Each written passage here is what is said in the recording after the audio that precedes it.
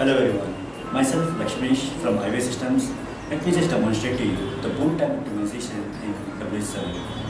iWave Systems has now succeeded in optimizing the booting time of its Windows Embedded Compact 7 board support package in Freescale's Aerotomic 6 Sabre SDP platform. The WEC7 BSP's booting time has been optimized efficiently by using the effective techniques such as improving the hardware initialization sequences in eBoot and drivers, removing unnecessary components, modifying the driver loading sequences, etc.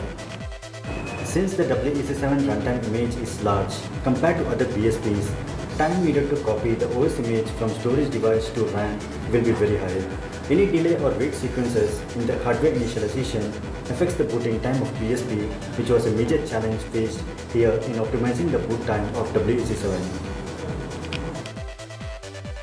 After achieving this optimization in SDP, now iWave's WSN BSP is booting in a short boot time of less than 4 seconds for a small footprint OS image with a display and touch driver support and boot time of 8 to 10 seconds for an OS image with the basic drivers and OS component support.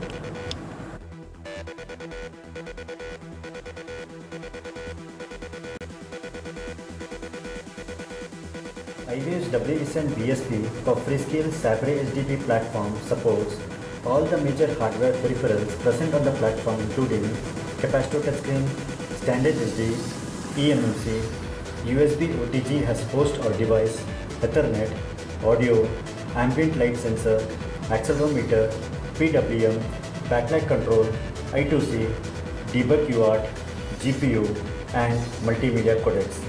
The BSP also supports major WE7 components such as DDRAW, video playback, SMP, KATL, and ActiveSync.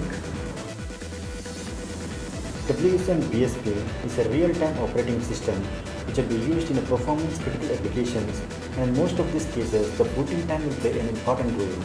By bringing down the booting time to such an extent in WSN BSP, now iWave has given you a hassle-free platform to work on wide variety of applications such as tablets, in-vehicle infotainment systems, healthcare devices, video cameras and other handheld solutions. For more details on our products, kindly visit our website www.iwavesystems.com or you can also email to us at mktg at. Thank you.